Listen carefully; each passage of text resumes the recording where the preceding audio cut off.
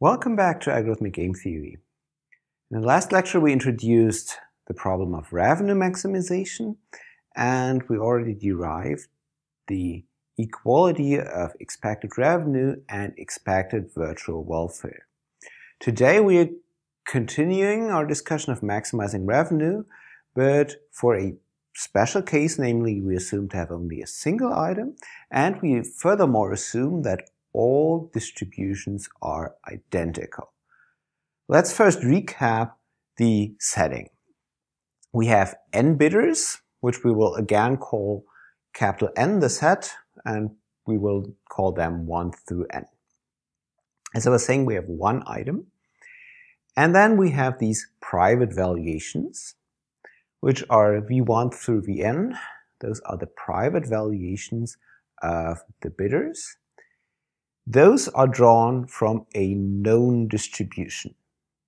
And today, the thing that we're assuming is that this is the same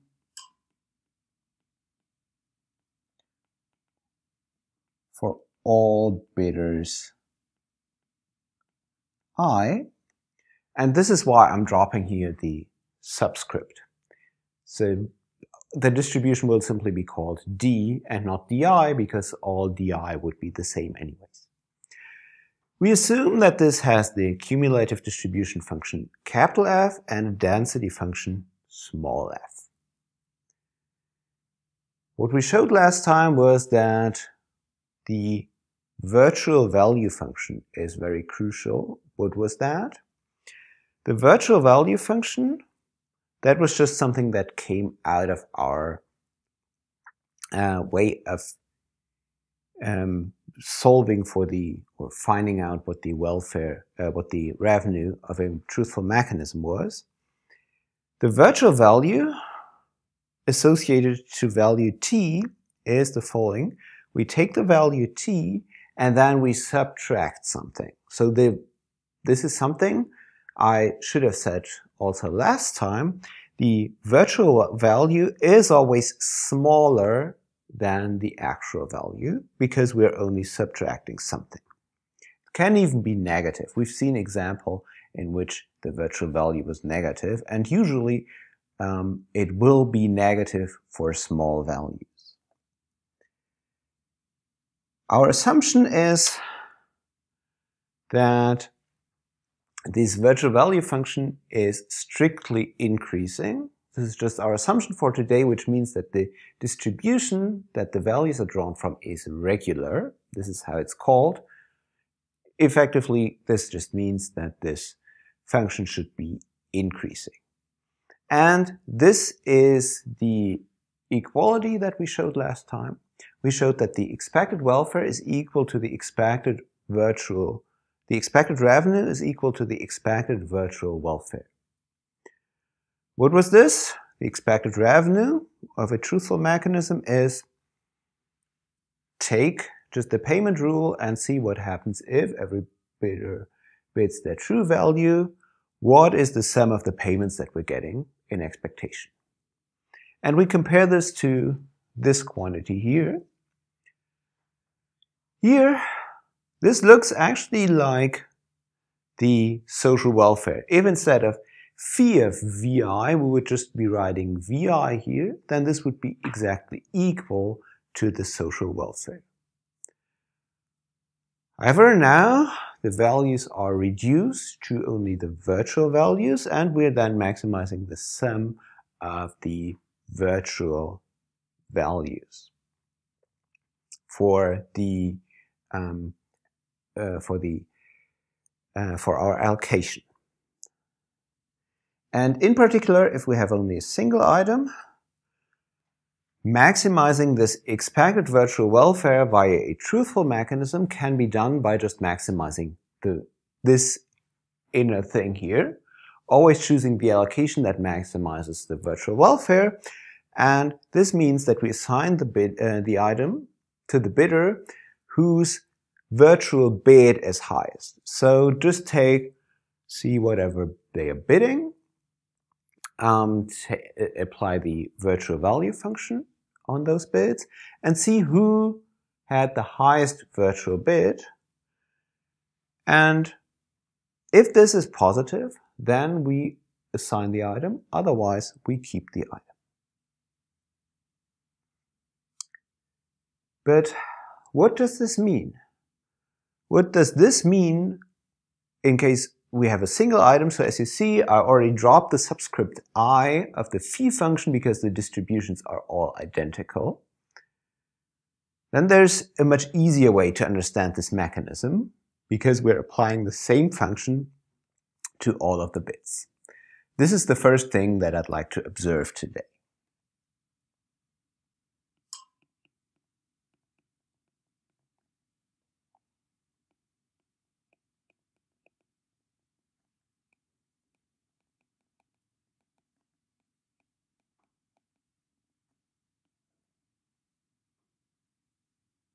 So our mechanism will be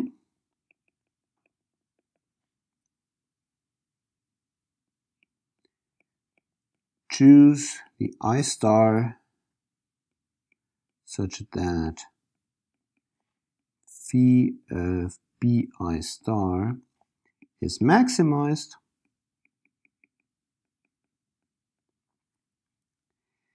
And if phi of bi star is greater than zero assign the item to bidder I star.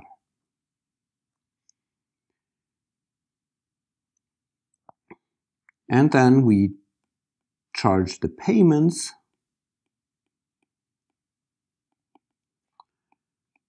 according to Myerson's lemma.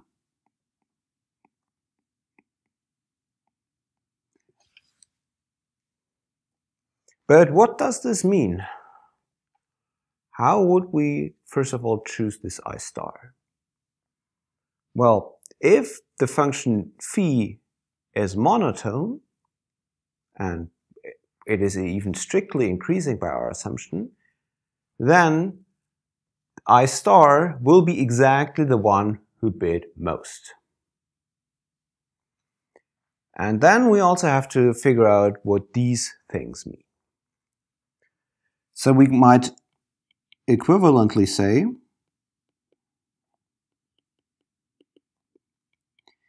we choose I star such that bi star is maximized. And now what we can say is if, well, bi star is greater than phi, the inverse of phi applied to 0, then we would assign the item to bidder I star. So here we are using that phi is strictly increasing.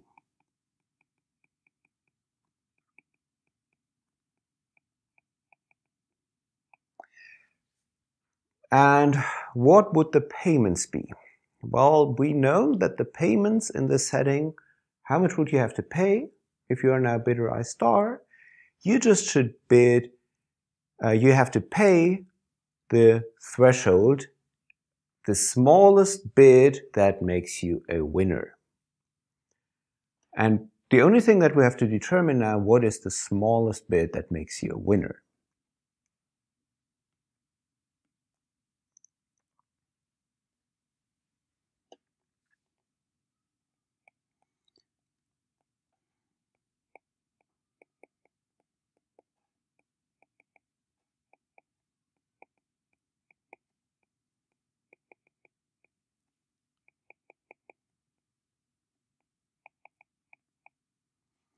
What does this mean?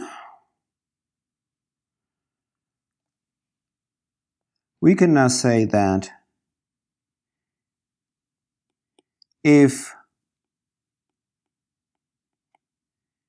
the virtual value applied on everything, everybody, the virtual value of the maximum bid of everybody besides bidder i star is at least zero,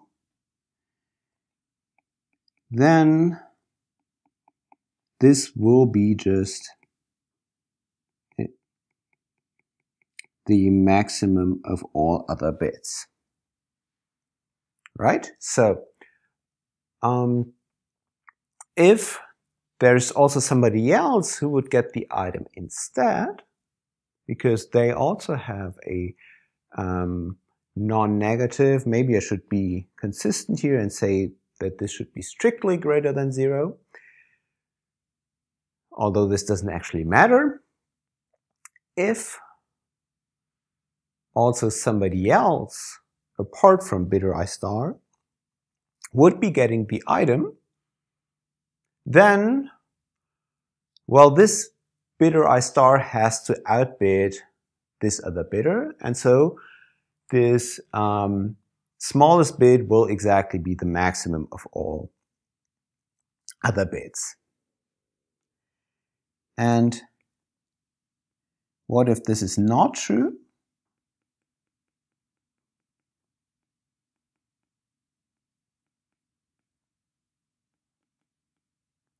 Then I still have to bid at least this inverse of the virtual value function applied to zero. So overall, this t, this will be the maximum of two things, namely the maximum of two other uh, of all other bits and the inverse of the virtual value function at zero. Good. What kind of mechanism is this?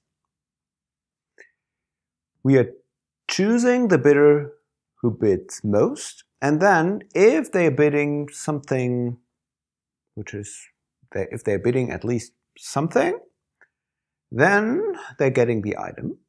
Otherwise, they're not getting the item. If they're bidding at least this something, then they have to pay the maximum of this something and the highest other bid, uh, highest of all other bids. What you can realize now is actually this is almost the second price auction, except for that we have a reserve price. We have a reserve price of this inverse virtual value function at zero. So you have to also bid at least this reserve price and you will also have to pay at least this reserve price. So this looks nothing but that we are adding another bidder who's always bidding this reserve price. If that other bidder is winning, then we are actually keeping the item. But if it is not winning, then this also contributes to the possible highest bid. So by introducing more or less this fake bidder, we kind of increase revenue as opposed to when not having this because it increases the the price the, the payment that has to be made when somebody's winning because maybe um, the second highest bid was smaller than this.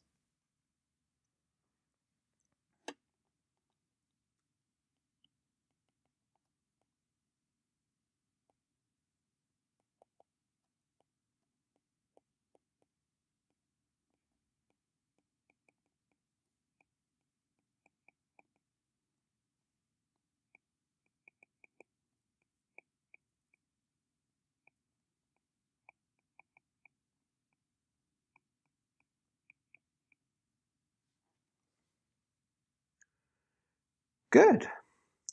So revenue maximization isn't actually always complicated. If you have only a single item and identical distributions, then more or less the second price auction will do the trick, except for the fact that you already have to know the reserve price, that you have to suitably set the reserve price. This, by the way, might have might be something that you've also uh, seen before, this kind of an auction format. More or less, when you're bidding on eBay, for example, then they have a starting bid, meaning you have to bid at least this much to be taken into consideration at all. This is what you can actually understand as a reserve price.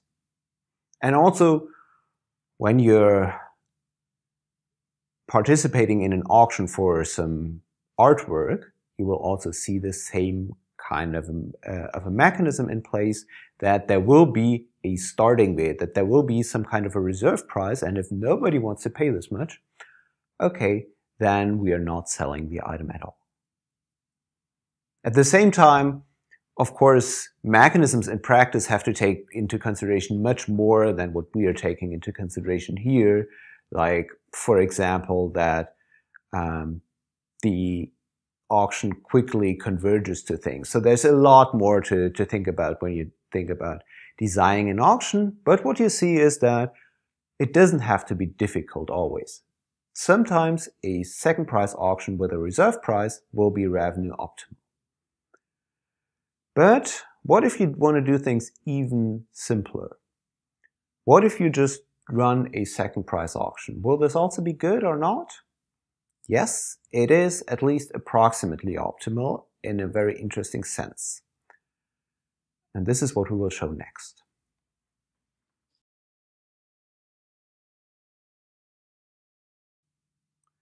What if now you were still running a second price auction because you're lazy? Okay, this won't be revenue optimal. But we can show that it is still a reasonably good mechanism in terms of revenue if all distributions are identical and regular. Namely, we'll now show two results. The first one being, out of all mechanisms that always allocate the item, this, uh, the second price auction is revenue optimal. Remember that the um, that the revenue optimal auctions, like for example the second price auction with the reserve, the point is that sometimes we don't give away the item at all. But if we were now insisting on always giving away the item, then among all truthful mechanisms, the second price auction is optimal.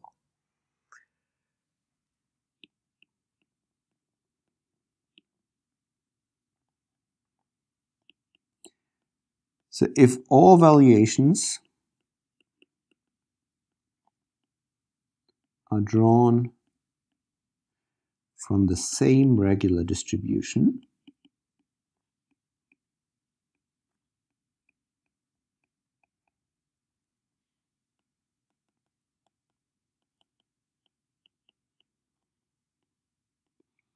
The second price auction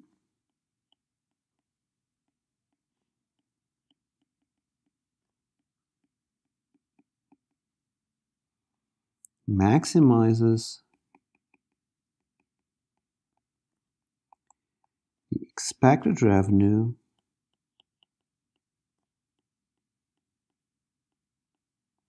among all truthful mechanisms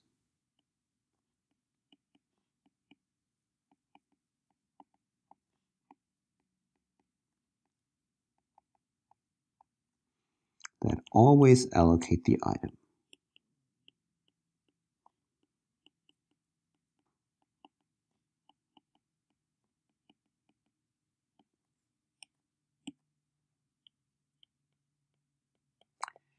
Let's show this. How do we show this? Well, we just take any truthful mechanism that always allocates the item and we take our second price auction and we just compare their revenue. And how do we compare their revenue? We compare their virtual welfare.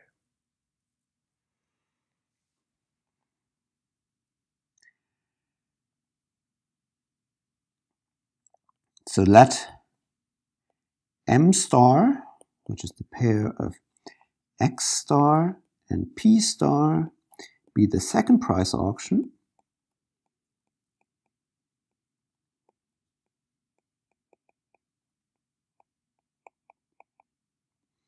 And M, which is a pair of X and P, be any other truthful mechanism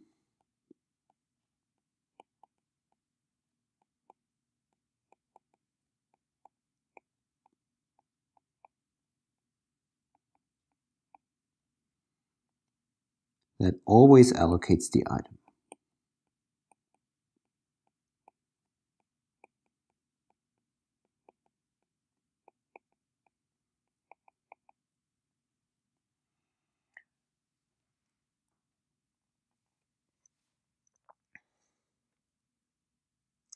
Good. Now, what will happen? Consider an evaluation profile V.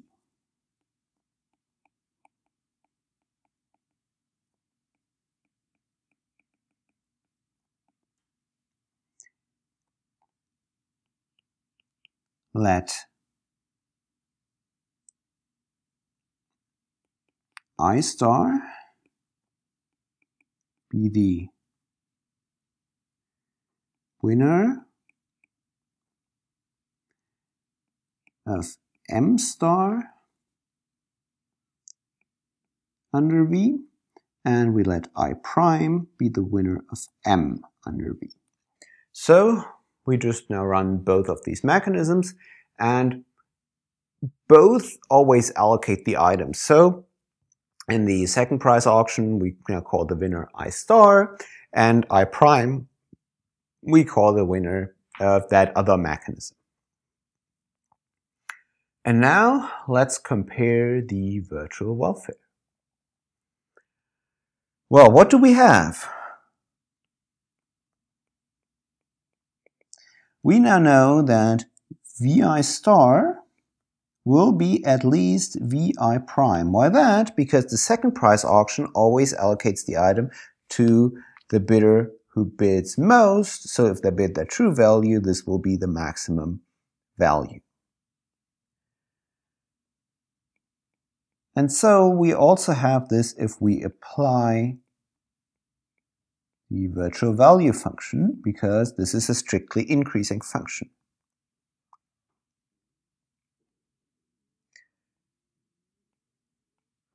And this means that if we now compare the virtual welfare, this will be v, uh, VI star for the second price auction, and this will be at least as much virtual welfare as for that other mechanism.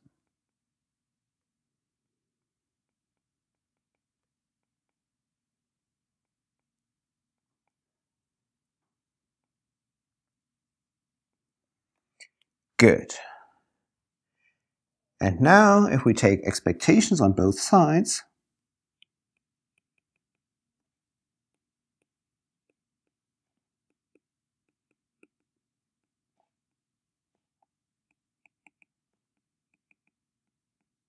then we get that the expected sum of the payments, this will be for the second price auction, will be exactly the expected virtual welfare.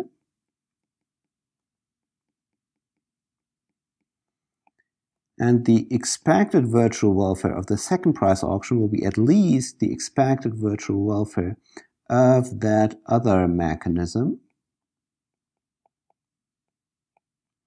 And this will be at exactly, again, this mechanism's expected revenue.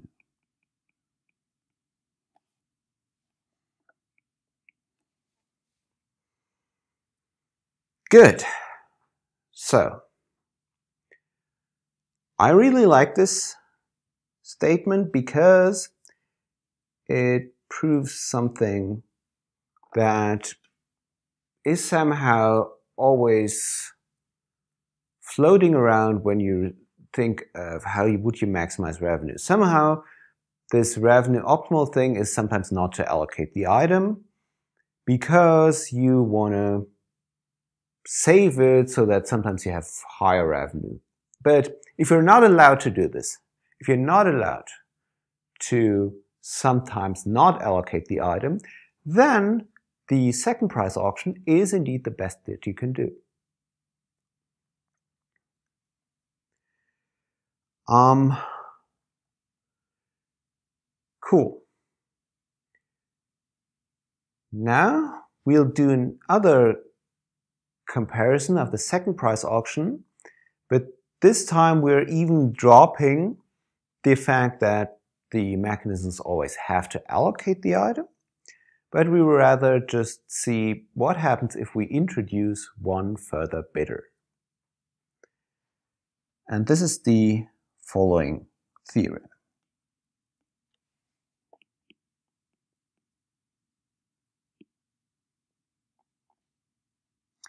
This is by Bulow and Klemperer.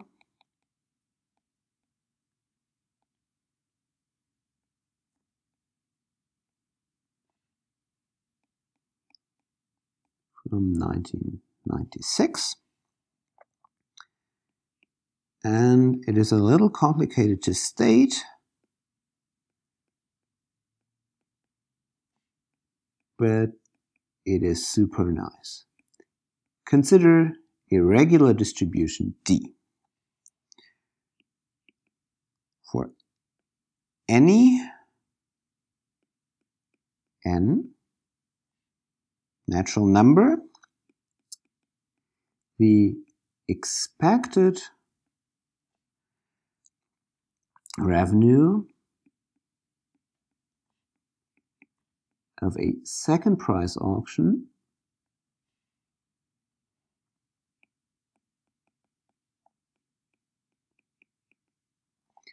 with n plus 1 bidders drawn from D is at least the expected revenue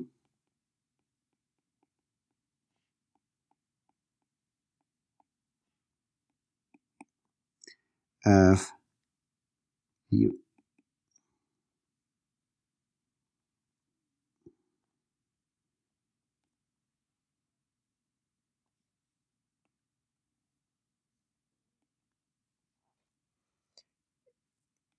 is at least as high as the optimal revenue, the optimal expected revenue to be precise, with n bidders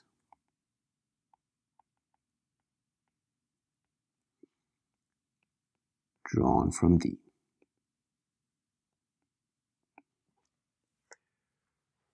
Good. Let's digest this. We now compare the case that we have n bidders with the case that we have n plus 1 bidders. And in both cases, all bidders are drawn, the, uh, or more precisely, their values are drawn from the same distribution D. Now we'll have the optimal expected revenue for n bidders. And we compare this with the second price auction for n plus 1 bidders. And we now claim that the expected revenue with the second price auction with these n plus 1 bidders is at least as high as the optimal revenue with only n bidders. One way you can think about this is that here in this second price auction, there is just more competition happening. And this more competition, meaning that there's only one more bidder, this is much more helpful, or maybe not much, but is more helpful than carefully crafting your optimal auction in this case meaning that carefully choosing your reserve price. So if you know nothing about your n plus 1 bidders and you just run a second price auction, this will give you at least as much revenue as if here you have to know kind of everything about your bidders, at least about the distribution, and you carefully have to choose your reserve price. Interestingly, this is extremely simple to prove when you already have the result that we've just shown, namely that the second price auction is revenue optimal among all mechanisms that always allocate the item. What we'll do now is just we'll turn this optimal um, mechanism in terms of expected revenue for n bidders into a mechanism for n plus 1 bidders, which always allocates the item. And then this theorem statement follows just by our lemma that we've just had.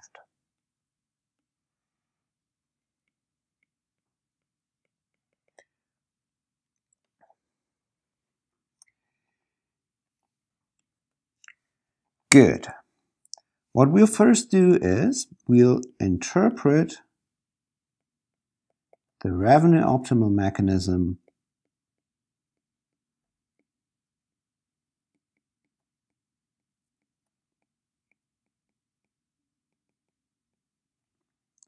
for n bidders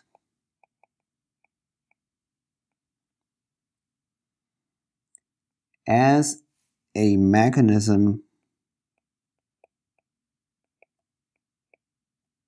m for n plus 1 bidders.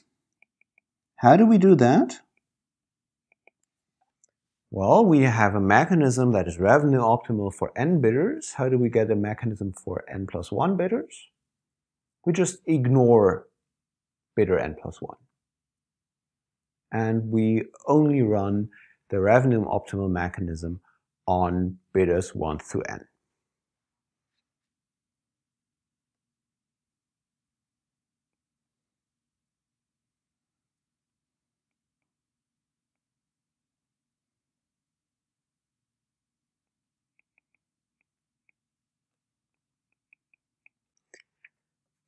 The first thing to observe is that, of course, the expected revenue of this mechanism is exactly the expected revenue uh, of the original mechanism that we're starting that we were starting from because this, the same thing is happening.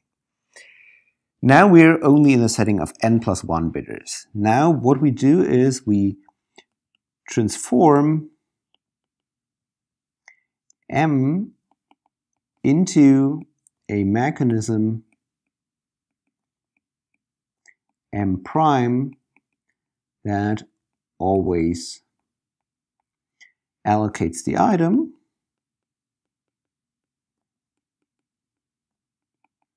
How do we do this? Whenever m does not allocate the item,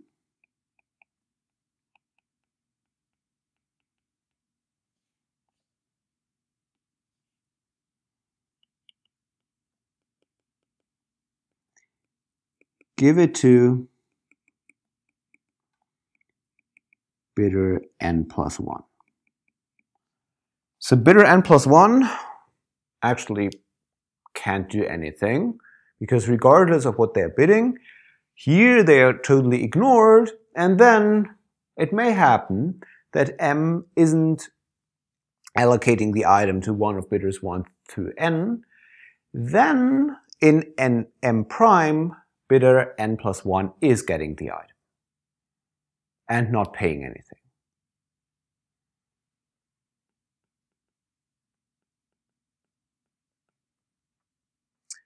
The revenue of m prime is the same as the revenue of m because whenever we are collecting money, we're doing exactly the same thing. And this is also exactly the optimal revenue that you would get for n bidders. Now compare this mechanism m prime to the second price auction. m prime runs on n plus 1 items, always allocates the item.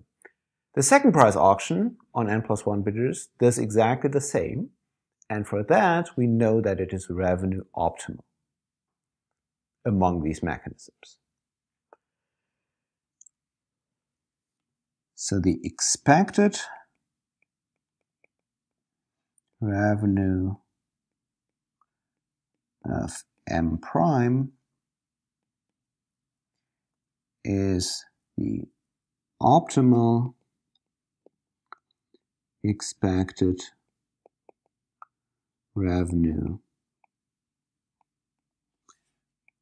for n bidders. The second price auction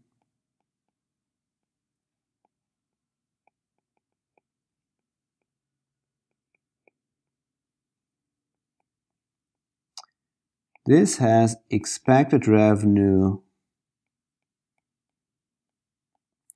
on n plus 1 bidders of at least the one that m, uh, m prime has.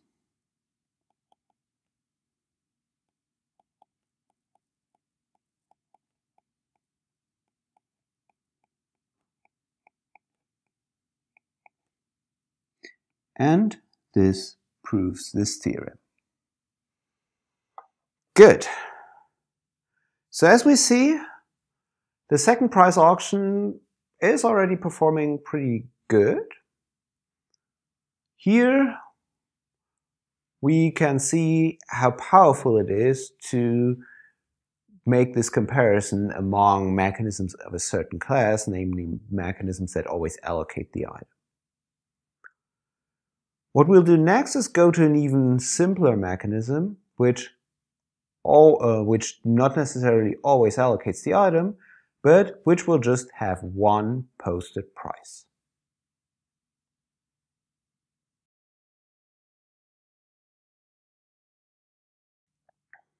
Now, as I was promising, we're now coming to an even simpler mechanism, which just posts one price for the item and whoever comes first and is willing to pay this price can buy the item. For a single bidder, this is revenue optimal. Why so? Because this is just what the uh, optimal mechanism looks like. It just fixes a price and gives away the item if the bidder is willing to pay this much. Otherwise, it keeps the item. This is what we've seen last time. But let's now just consider this also for many bidders. Actually, they don't bid anymore, but they just come along and they see a take it or leave it offer. Do they now want to take this item or not? How do you analyze such a thing and how would you choose the price? To analyze this kind of a mechanism, we use a result from optimal stopping theory, which is called a prophet inequality. Namely,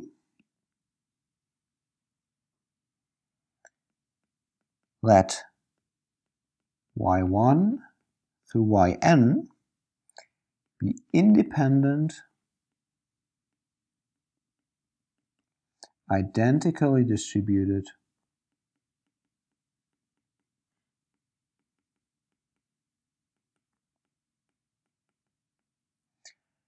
non-negative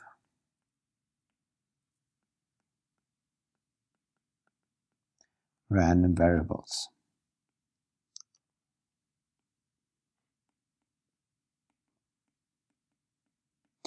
And let tau be a threshold with a property that the probability that we see a value higher than tau is exactly equal to 1 over n, or tau is 0 and this the probability that we see a value that is strictly greater than 0 is at most 1 over n.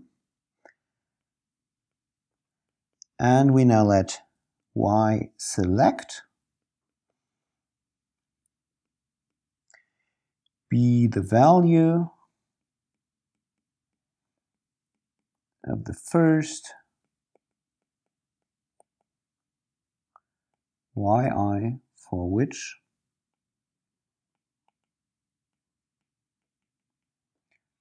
Yi is greater than tau and 0 otherwise if there is no such thing. And then we have the following. Then the expected value that we do select, this will be at least 1 minus 1 minus 1 over n to the power of n times the expectation of the maximum of these yi.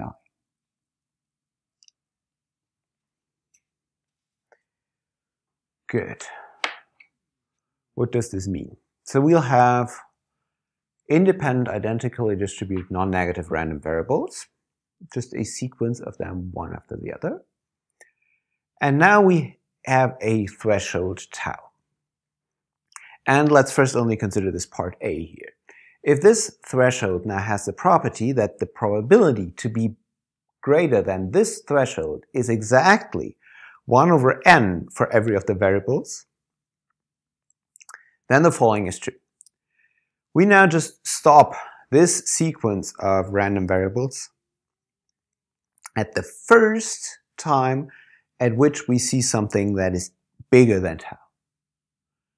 Then the expected value that we're getting this way will be at least some factor times the expected maximum value in this sequence. So what we're doing is we kind of stop the sequence at some point, and at this point we ask, well, how big is this value that we've stopped at, which was the biggest value up to this point because it was the, the first to exceed the threshold. But this, um, the, the maximum in the sequence might of course be larger. And how much are we losing this way? What might also of course happen is that nothing is above tau. And if nothing is above tau, then we're collecting zero and we're still comparing ourselves against the maximum in the sequence. So that's why you see you wouldn't want to choose this threshold too high. Because if, it, if you choose it too high, then chances are that you're not selecting anything. If you choose it too low, then you stop too early. And we now see what, what we claim is choosing this threshold at the point where the probability that you see something bigger than this threshold is exactly 1 over n, this is a good choice. Or alternatively, it might be that for all thresholds, the probability is actually smaller. And then you choose as a threshold simply 0. And then, so if you have that the probability to choose uh, to see something that is greater than 0 is at most 1 over n, then you could also set the threshold simply to 0.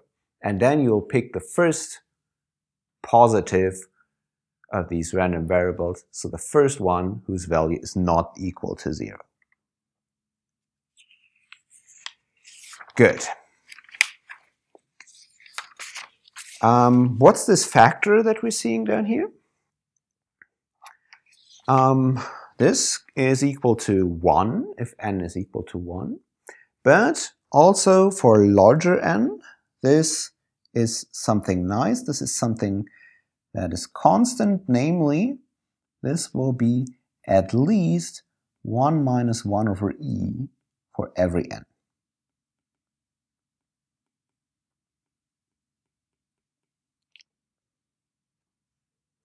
So approximately 0.63. Good. Let's now prove this claim. And what do we want to show? We want to show this inequality here regarding to expectations. And to this end, it suffices to show that the probability that this y select is at least some value z, that this is at least this factor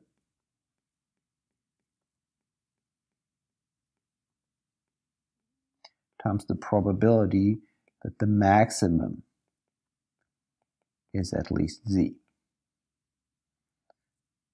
And this is something we want to show for all z which are non-negative.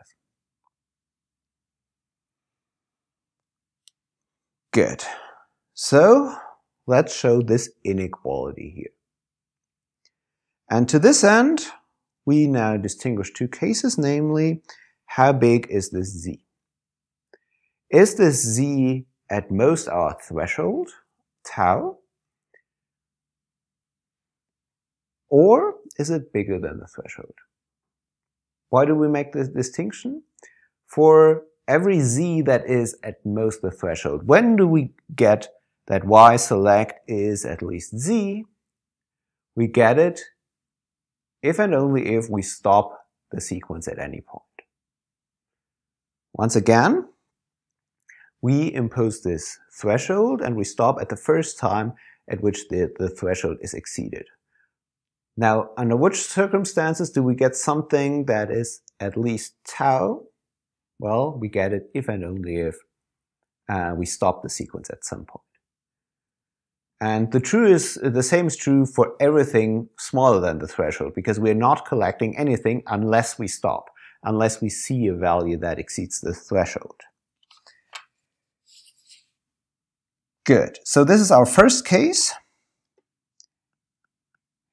If z is at most tau, then we see that the probability that y select is at least z, this is exactly equal to the probability that there exists an i such that yi is bigger than tau. And what's the probability for this? This is 1 minus 1 minus 1 over n to the n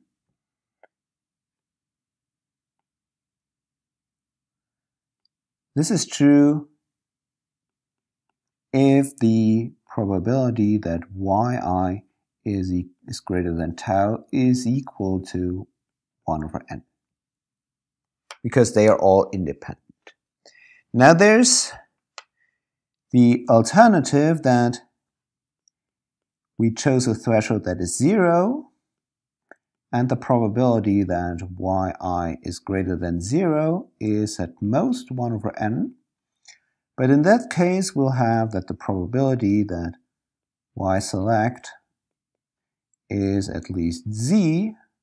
This will be just the probability that y select is at least 0, and this is 1 because we assumed that those are non-negative random variables.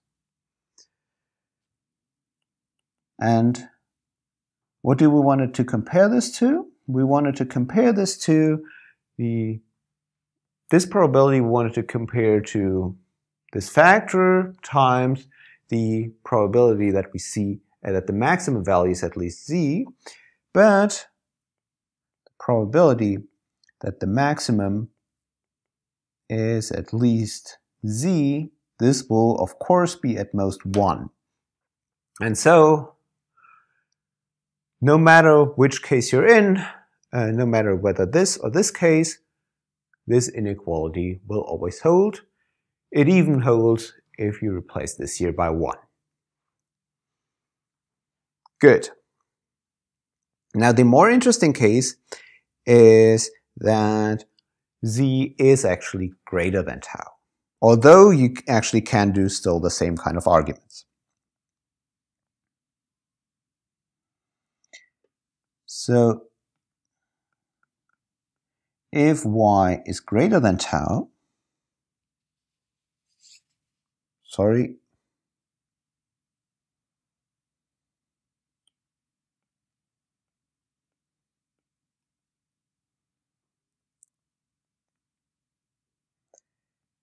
So if z is greater than tau, then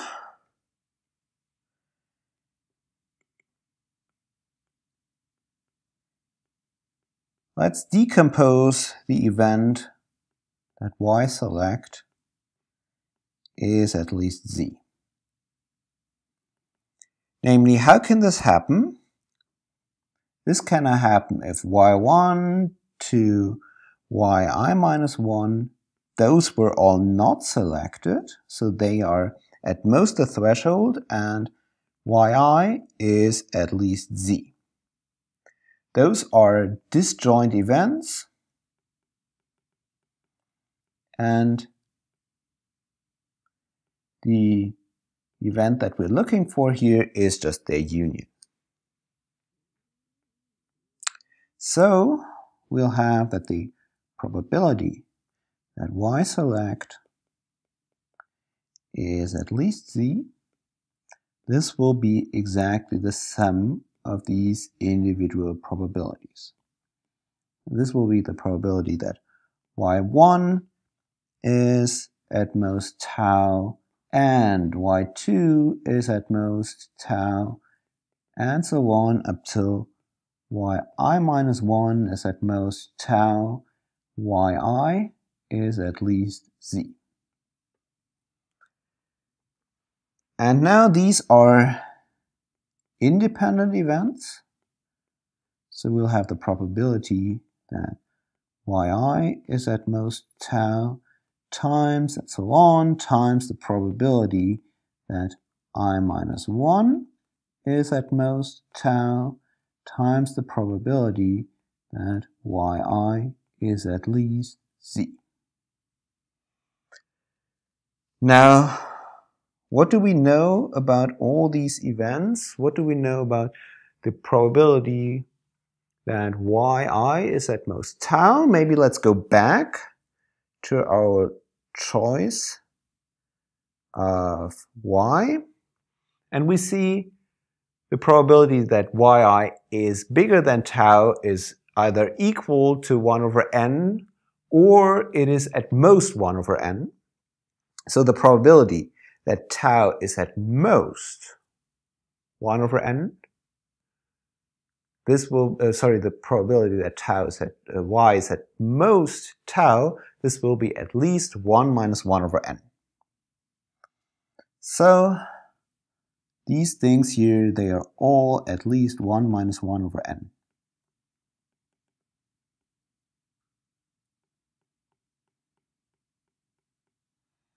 So what we're seeing here is just the sum of all these 1 minus 1 over n to the power of i minus 1 times the probability that yi is at least z. And this we can actually simplify because this is a geometric sum. We are getting that this is 1 minus 1 minus 1 over n to the power of n divided by 1 minus 1 minus 1 over n to the power uh, to no power to the power of 1 times probability that yi is greater than z, and those are the same, so let me just write y1 at this point. Now here you see that this denominator we can simplify a lot and this way we get our fancy factor times n times the probability that y1 is at least z. And this we can now write as our fancy factor times the sum of these probabilities because they are all identically distributed. Now finally, we'll have to compare this to the probability that the maximum of these yi is at least z. And this is also easy because the probability that the maximum of all i, yi is at least z, this is something that we can write as the sum of the following probabilities y1 is less than z and y2 and y3 and so on up to yi minus 1 those should all be less than z and then the probability that yi should be at least z. This here, this is something that is at most 1, so what we're getting here is exactly the sum of these probabilities. And in combination, this now shows also that here the probability that the value that we select is at least this factor times the probability that the maximum is at least z. Good.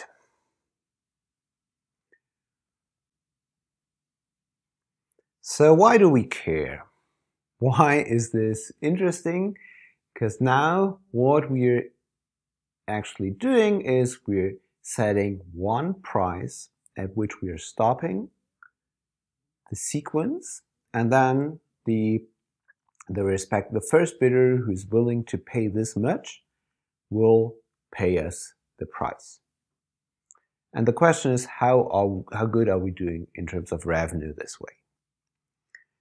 And it's not entirely straightforward because there's again a step in between which uh, uh uses the um, uh, the virtual values. So what will our mechanism now look like?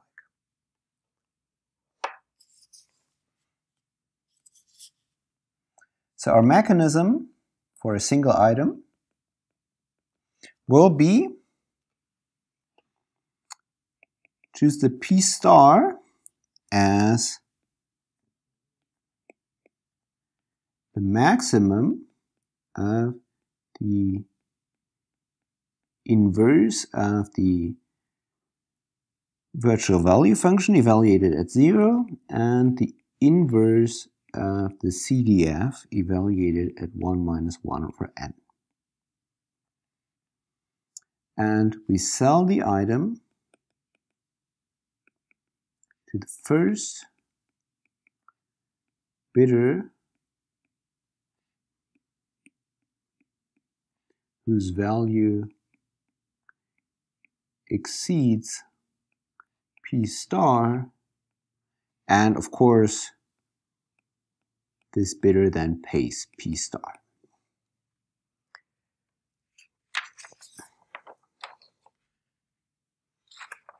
And our claim is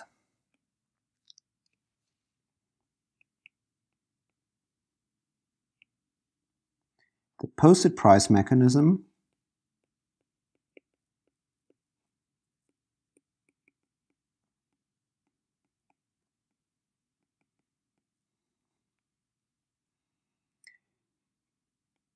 gives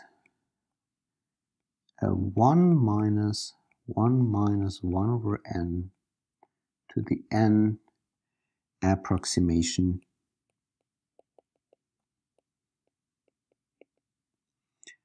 to the optimal expected revenue.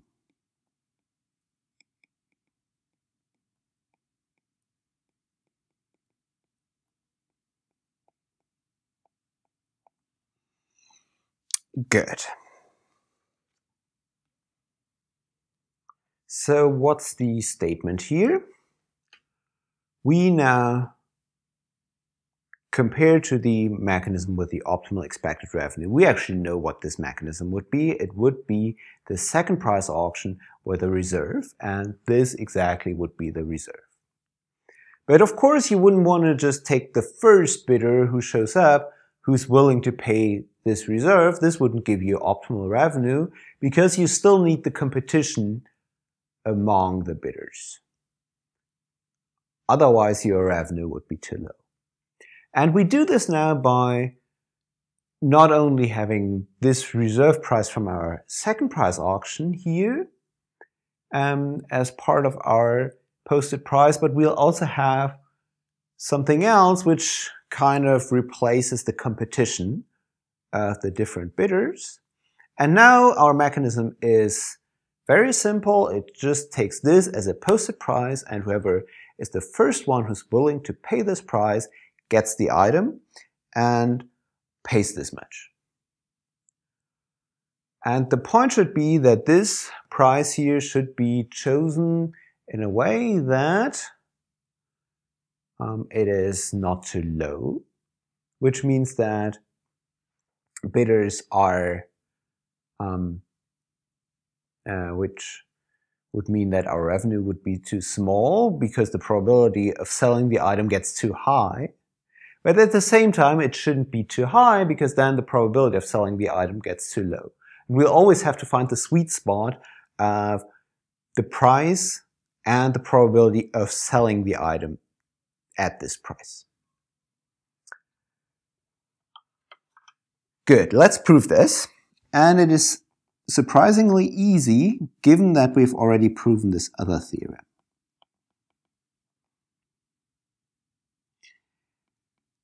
Let yi be the virtual value of yi but at least 0. So this is a non-negative random variable and those are independent. The optimal virtual welfare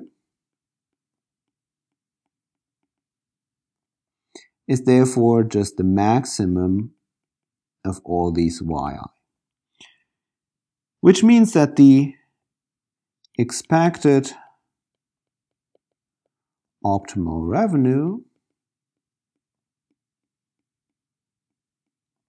is the expectation of the maximum of these yi.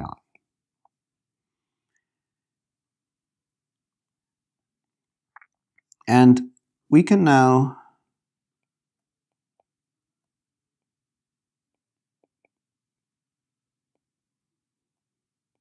the previous theorem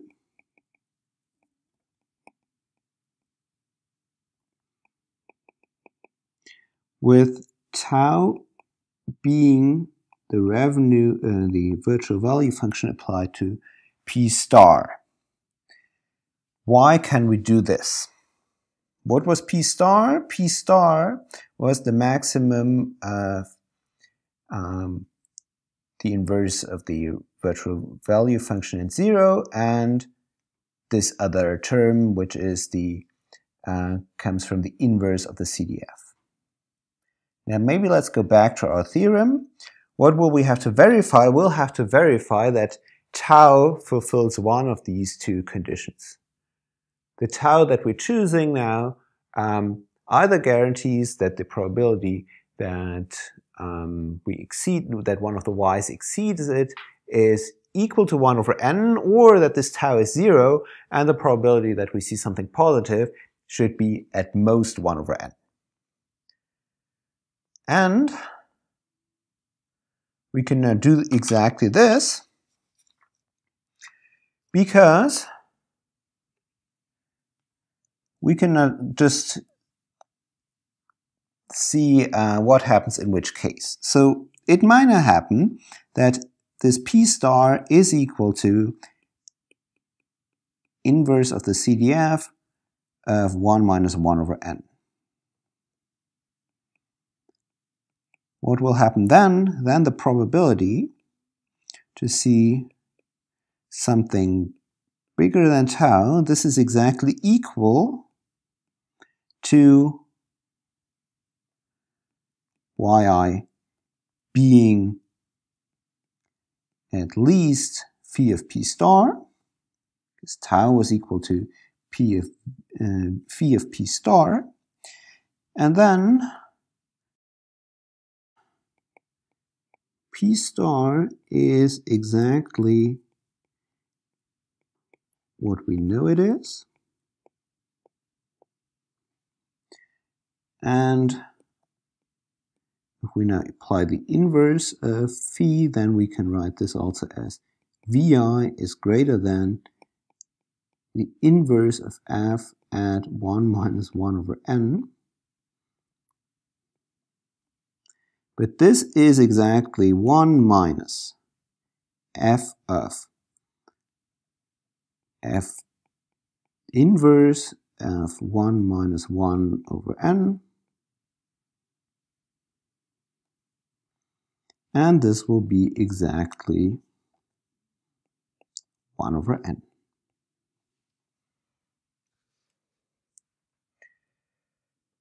Okay, so then we're safe. Otherwise, P star will be phi of 0. So tau will be 0 because tau was once again uh, phi of P star.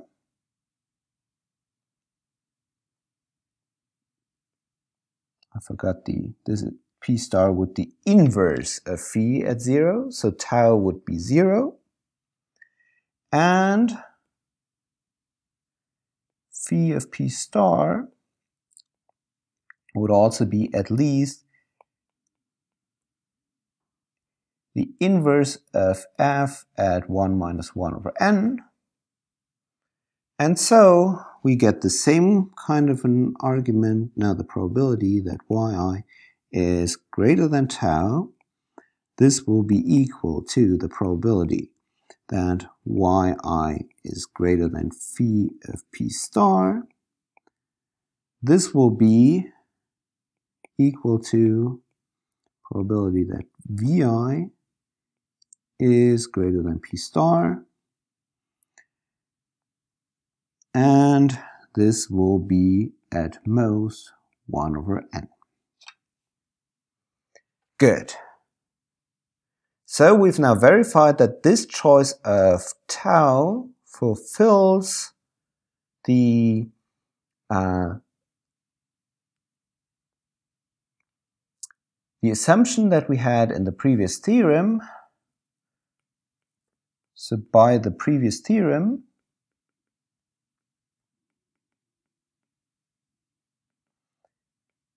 the expected value that we're selecting will be at least 1 minus 1 minus 1 over n to the power of n times the expected maximum.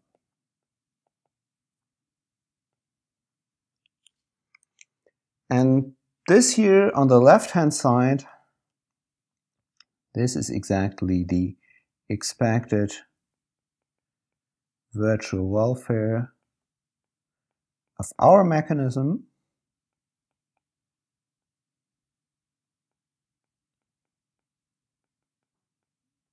And this here as I was saying this this is expected optimal virtual welfare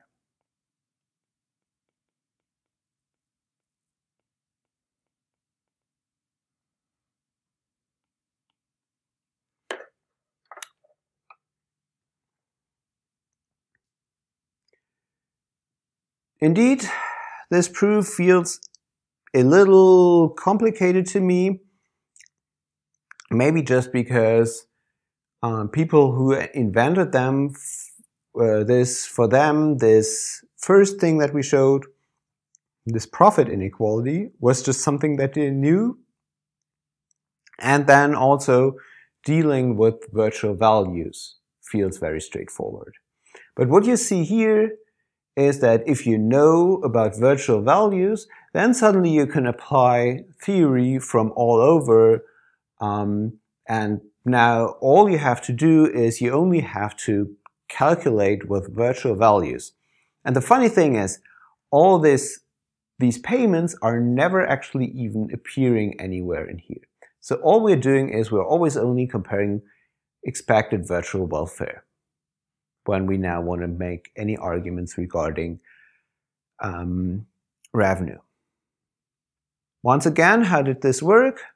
We set a price and then we showed that um, this price has the property that either um, the sequence gets stopped at every point in time at with probability exactly equal to 1 over n or with probability at most 1 over n and the price is equal to our reserve price of the second price auction with a reserve. Good. So next I'd like to tell you a little more about what you can actually do if you do, if you insist, for example, not on truthfulness, what could you do then? And also, what if you go beyond just a single item?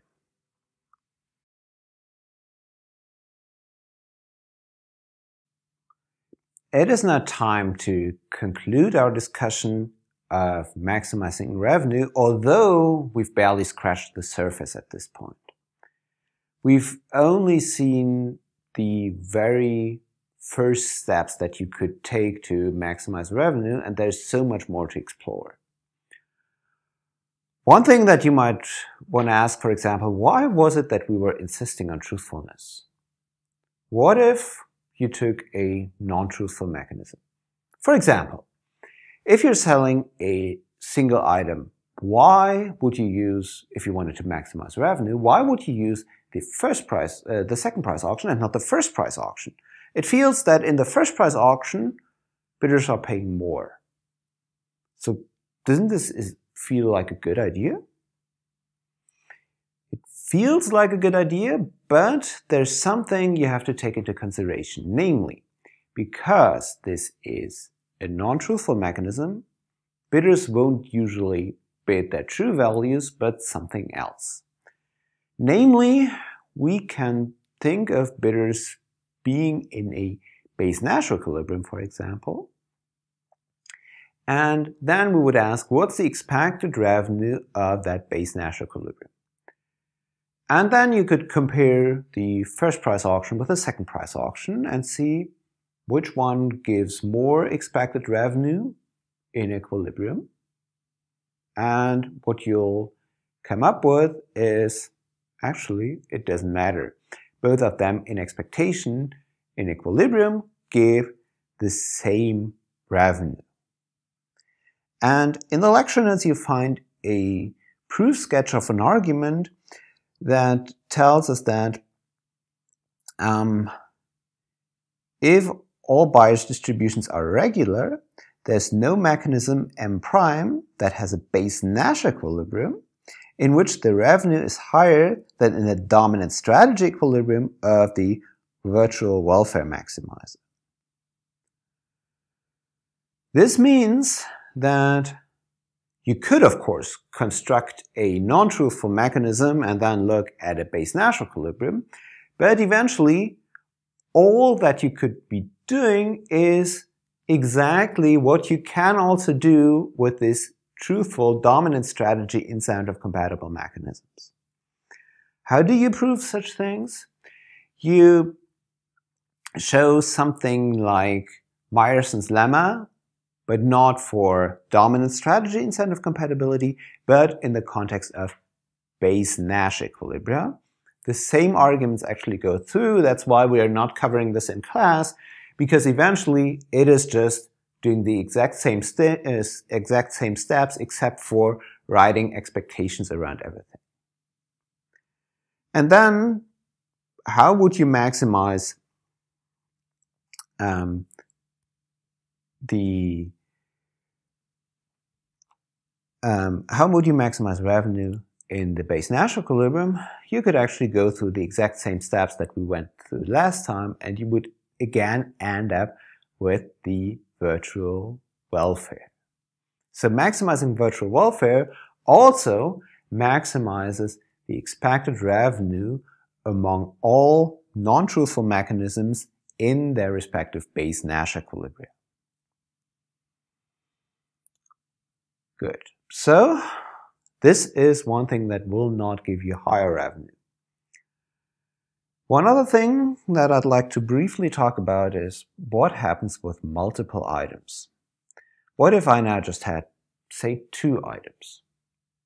And I mean not two identical items, two identical items, then you could just understand all of this as a um, as a usual single parameter setting in which you can just apply everything that we've done so far.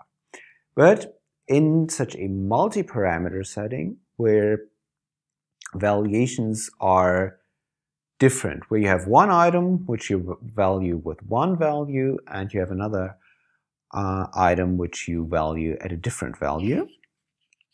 And then pretty strange, strange things can happen. Let's see this in an example.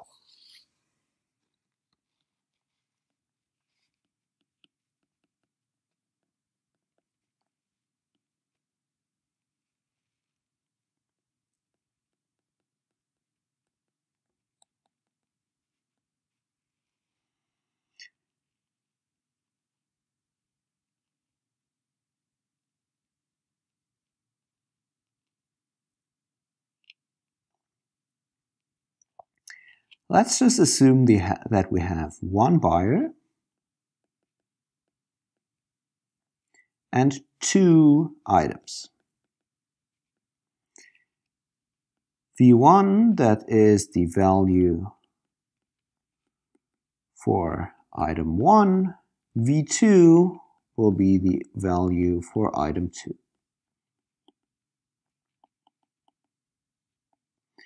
And we now assume that both items together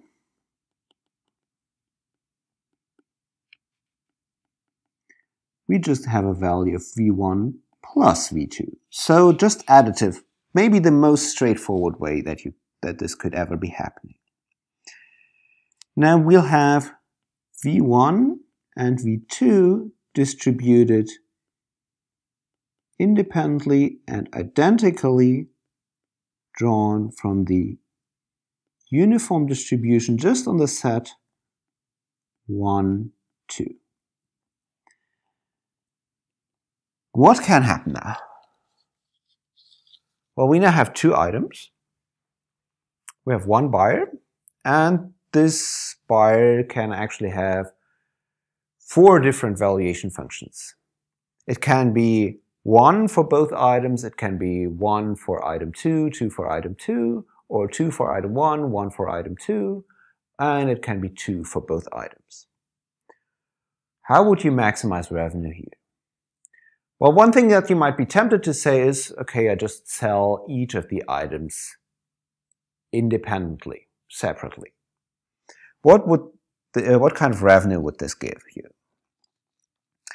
Um, this would be my first mechanism.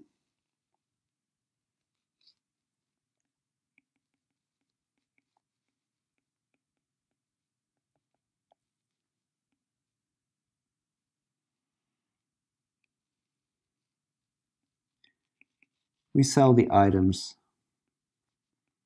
separately at prices PJ star. Now, what revenue would you be getting? Depends now on whether you set PJ star to 1 or to 2 for which item.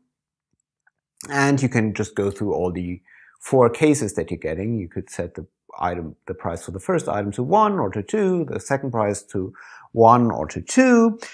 And what you end up with is that actually you will never get a, a revenue, an expected revenue that exceeds 2. Why that? Because the, the expected revenue from the first item will be 1 and also from the second item it will be 1.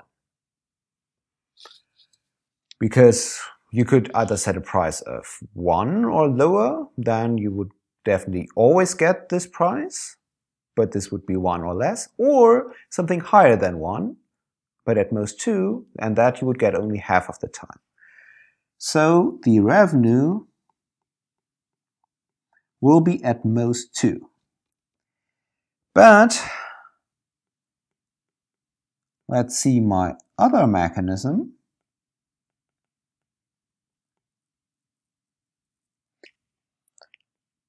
What we'll do is sell only both items together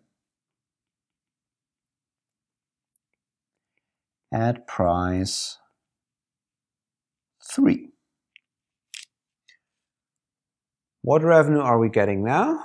When is the bidder buying that? It will buy the item whenever one of the two values is 2 and the other is either 1 or, or 2, doesn't matter. So the revenue will now be 3 unless both items are valued at only 1, which happens with probability 1 minus 1 over a quarter, which is 9 quarters, which is bigger than 2. So what you might have thought here is these items really have nothing to do with each other.